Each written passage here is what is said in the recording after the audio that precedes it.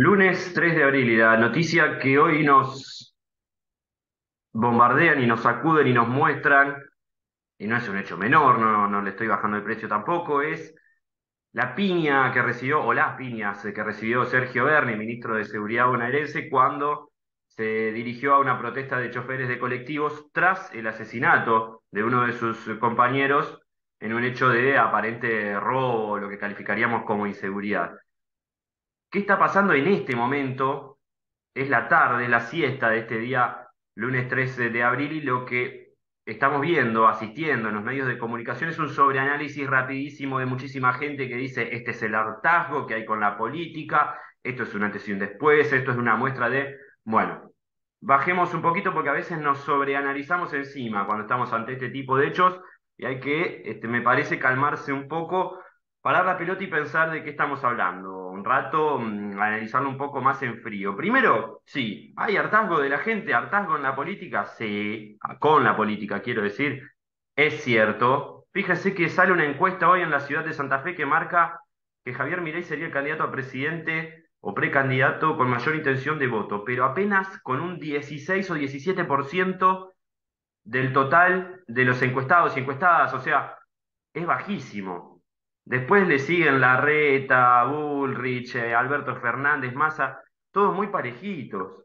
La compulsa este año es a ver quién es el menos peor, es cierto, es cierto. Hay hartazgo con la clase política, es cierto. Esto hace subir a espacios que ofrecen soluciones rápidas, inverosímiles para mí, es cierto, sí, las de Javier Milei. Paremos la pelota, analicemos un poco. Sí, un hecho en el que un funcionario importantísimo, de renombre, como es Sergio Berni, es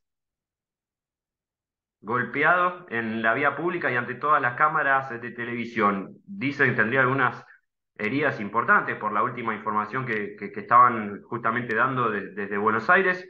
Sí, es cierto. ¿El hartazgo con la política existe? Sí, es verdad. ¿Estamos a 10 millones de años de las elecciones? También. Digo, muchas veces dimos por puesto a no sé, Massa ganó las legislativas 2013, lo dábamos puesto en 2015, ganó Macri. Después en 2017 Cambiemos arrasó y el país se pintó entero de amarillo. En el 2019 se fueron vapuleados. La gente no es tonta. La gente no es tonta. La gente, además, ya está aprendiendo a distinguir algunas cosas como el que ofrece respuestas rápidas en seguridad te está mintiendo. ¿O no pasó eso acá en la ciudad y en la provincia de Santa Fe? Que lo de la seguridad no se va a arreglar de un momento para el otro. ¿Es así o no es así?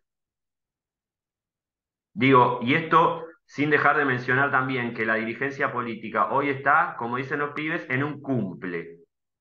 El kirchnerismo, hablando de lofer, hablando de persecución judicial, en la cual creo que sí, hay lofer, sí, hay una persecución a líderes populares en toda América Latina y en el mundo, de parte de un sector que a través de la justicia, así como antes era a través de las armas, quieren bajarlos. Es cierto, existe. ¿Es esto lo que más le importa a la gente?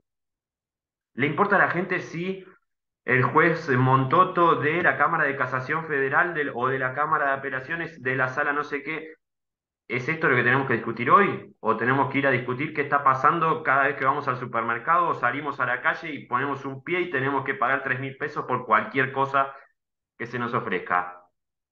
¿Cuál es el problema más urgente, si se quiere? No le quiero bajar el precio a ninguno de los problemas que tenemos. La oposición también, diciéndonos, esto se soluciona alto, que esto se soluciona rápido, esto es metiendo bala, esto ninguna de esas cosas son reales. La gente ya no es estúpida, la gente no come vidrio. Es mentira que todo esto es fácil de resolver, es mentira que la inflación se baja de un momento para el otro. ¿No aprendieron nada de eso durante el gobierno de Macri? La oposición también en un cumple saliendo por la tele a decir lo que supuestamente la gente quiere escuchar. La gente quiere empezar a escuchar cómo. Y tampoco jodamos con el discurso de hay que meter balas con respecto a la inseguridad, ¿no?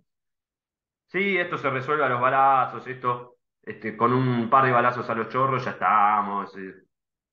Les aseguro, pongo las manos en el fuego por lo que voy a decir, una o dos semanas de balazos en Argentina y de cagarnos a tiro, a tiros, perdón por la santaficinada, van a hacer que todos salgamos a las calles a decir basta de esta porquería.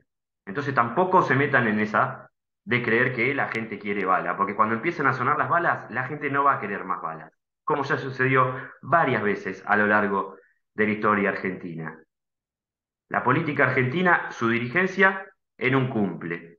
La gente esperando que le resuelvan los temas del bolsillo, principalmente, y de la inseguridad, creo yo, también en un segundo orden. La piña a Bernie, ya veremos qué consecuencias tiene. No nos sobreanalicemos encima, aunque vamos a destacar y señalar que toda la dirigencia política en este momento parece estar mirando más su propio ombligo que hacia los verdaderos intereses de la gente y de las clases populares.